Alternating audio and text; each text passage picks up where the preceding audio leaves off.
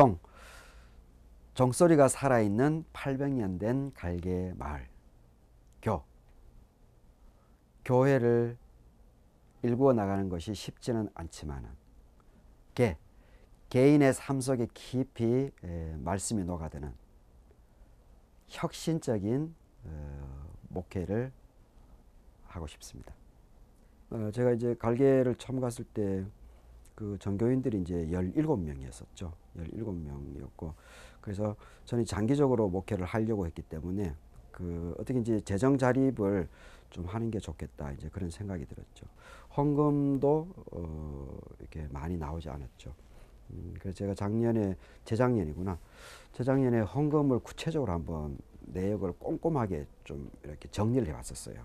그렇게 했더니만은 우리 교인들 전체 토탈 헌금이 580만 원 이 정도가 나오더라고요. 580만 원 순수하게 우리 교인들.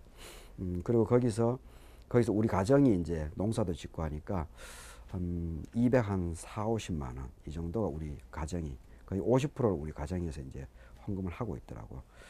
그래서 그걸 이제 이게 세분을 해보니까 매월 제가 교회 교인들 자체적인 재정으로 어, 제가 사례가 해결되는 게 한 20만 원이 조금 더 넘는 것 같아요. 그래서 어, 그래서 고민하다가 어, 생산물을 좀 직접 농촌이니까 농사를 지어서 생산물을 만들어서 어, 가공품을 만들어서 좀 어, 직거래를 통해서 자립을 하면 좋겠다 그런 생각이 음, 제가 하게 됐죠. 자비랑 목회는 저는 원래 그 예수 음, 예수 정신을 잇는다면은 사실은 자비랑 목회가 맞죠. 신약 신약 정신을 잇는다면 자비랑 목회가 사실은 맞죠. 예수님도 그 자비랑 하셨었고 바울도 텐트 메이커였었고 루터도 이중직을 갖고 있었더라고요. 그 목수도 했고 또 맥주 제조도 하시고 숙박업도 하시고 그렇게 했던데 그 그런 부분에 있어서 좀 자비량에 대한 이런 부분들을 조금 더 많이 열려지면 좋겠다 그 생각이 들어요. 조금 더 그런 부분에서 어, 이중직 하게 되면 여전히 이제 부정적으로 좀 그런 생각하는 음, 것이 있긴 있는데 조금 더 어, 사고의 폭이 조금 넓어지면 어떨까 그런 생각이 들어요. 여튼 시골에 있다 보니까 제가 또 농사를 직접 짓다 보니까 어, 일반 교인들뿐만이 아니고 그 마을 주민들을 많이 만날 수 있는 계기가 돼서 참 감사한 일이 많이 있어요. 예, 단적으로 밭에서 일하다가 이렇게 트랙터가 지나가면은 어 여기 와서 좀 우리 거 지나가는데 어 우리 우리 밭 이거 좀 해주시겠어요? 이렇게 하면은 지나가다 말고 바쁘지 않으면은 와서 밭을 밭을 갈아주세요. 그러면 밭을 갈아주면 또 고마우니까 또 이런저런 얘기를 하게 되죠. 그렇게 하면서 자연스럽게 그분하고 이제 교감이 음, 늘어나죠. 그리고 또, 어, 그 김장철이 되면은 제가 김장철에는 집집마다 다, 다 가봤어요. 다.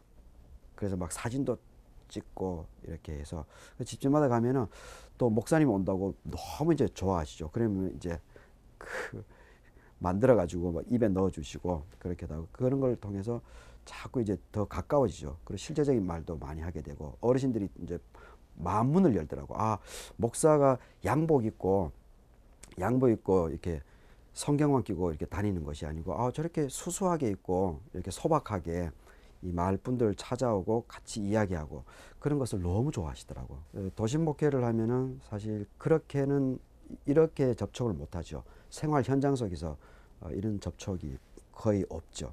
근데 하여튼 시골 목회를 하다 보니까 어, 하여튼 사는 모습을 다 지켜볼 수가 있으니까 음, 뭐 속속들이 다 알죠. 음, 루터가 한국교회 오게 되면은 한국교회는 회칠한 무덤 같다. 회칠한 무덤 같다. 그 왜냐하면은 지금 형식화가 많이 되어 있어요. 한국 기독교가. 그리고 예수 정신에서 많이 벗어났죠. 그리고 성서 성서 정신 자체에서 많이 벗어났어요. 그러니까 예수가 비판했던 그 바리새인들 모습하고 사실 똑같은 거죠.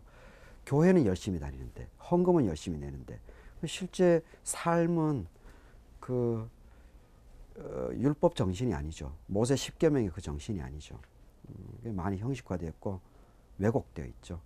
음, 그런 부분에서 회칠한 무덤이 맞는 것 같아요. 예수가 표현한 그 자체가 맞는 것 같아요. 종교개혁이 아니고 사회개혁이다. 루터는 정말 예수도 그랬지만은 정말 그 당대의 현실적인 문제하고 싸웠던 거거든요. 실제 그 당대를 살아가고 있는 서민 대중들의 삶의 애환들을 현- 직시하고 있었던 거죠. 그래서 그 서민 대중들의 사- 삶의 이 구체적으로 문제점들, 어? 걸림돌이 되는 것들을 제거해 나간 거죠. 예수가 그랬고 루터도 사실은 그렇게 한 거죠. 예수를 제대로 안다면은 당연히 저는 사회 활동을 당연히 해야 된다고 봐요. 근데 지금 한국 교회는 그것을 정치 개입이다라고 하는 그, 그 단순한 말로 다 이것을 거세시켜 버리려고 그러거든요. 그거는 그거는 아닌 거죠. 그저 개교회로 사람들 그저 끌어당기려고 그러고 그리고 헌금 많이 걷게 해가지고 건축 교회 큰 규모로 자꾸 지으려고 하고 자꾸 이렇게 교회 중심적으로만 자꾸 하는 거죠. 사실 이게 자꾸 흩어져야 되는데 세상 속으로 자꾸 들어가야 되는데 이런 부분에서 너무 멀어져 있죠.